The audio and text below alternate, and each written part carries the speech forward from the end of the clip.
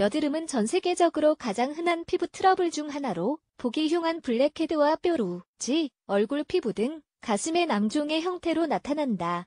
여드름은 피지 분비선의 변화로 인한 감염으로 발생되며 피부 모공을 막고 염증을 일으킨다. 블랙헤드와 만성여드름은 사춘기 때 주로 생기며 이로 인해 자존감이 낮아지는 경우도 많다.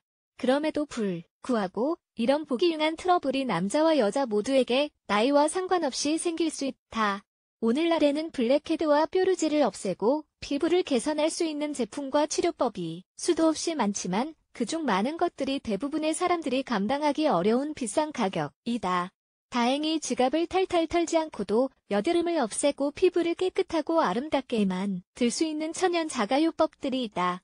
오늘 그래서는 이에 대해 설명해 보려고 한다. 베이킹소다 베이킹소다는 순한 각질 제거제 역할을 하며 죽은 피부세포와 모공을 막고 있는 과도한 피지를 제거한다.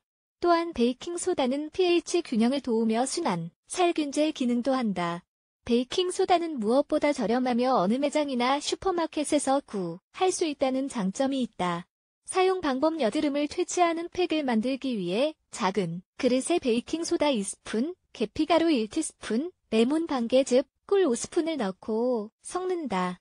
섞어서 반죽처럼 되면 얼굴 전체에 펴바르고 오븐에서 10분 정도 두었다. 따뜻한 물로 씻어낸다. 베이킹소다를 적신 후 부드럽게 원을 그리면서 문질러 발라도 된다.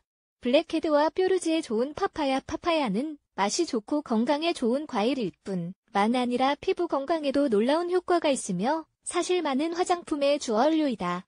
파파야는 피부 표면에서 과도한 피지를 제거하고 죽은 세포를 제거하며 뾰루지와 블랙헤드 때문에 생기는 염증도 완화한다.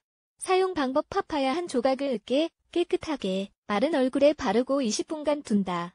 나 씻어내고 나서 평소에 쓰는 보습제를 바르는 것을 잊지 말자. 녹차 녹차는 에피갈로카테킨 갈레트, 이지시지라고 불리는 항산화 성분이 함유되어 있으며 피부의 피지 생성을 감소시키는데 아주 효과적임이 밝혀졌다. 또한 녹차는 박테리아 및 관련된 염증도 막는다. 사용 방법 녹차의 비티스푼에 물을 약간 섞어 으깬다. 다른 각질제를 사용하는 것처럼 얼굴에 펴바르고 3-5분 동안 그대로 둔다. 블랙헤드와 뾰루지의 좋은 귀리 귀리는 건강에 아주 좋을 뿐만 아니라 건강한 피부를 위해서도 아주 좋은 천연 치료제로 죽은 피부 세포와 과도한 피지를 제거한다. 사용 방법 그릇에 귀리 몇 티스푼, 토마토 한개 과육, 꿀 1스푼을 넣고 섞는다. 반죽처럼 섞이면 얼굴에 바르고 10분간 그대로 둔다. 계피와 꿀 계피와 꿀의 조합, 은 뾰루지를 없애고 피부를 개선하는데 아주 탁월한 효과가 있다. 계피는 박테리아가 확산되는 것을 막아주며 꿀은 염증을 완화하는 천연 항생제 역할을 한다.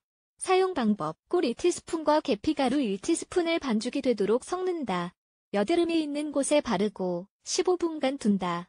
바나나 껍질 바나나는 맛있는 과일이며 몸이 필요로 하는 필수 영양, 소를 가득 함유하고 있다.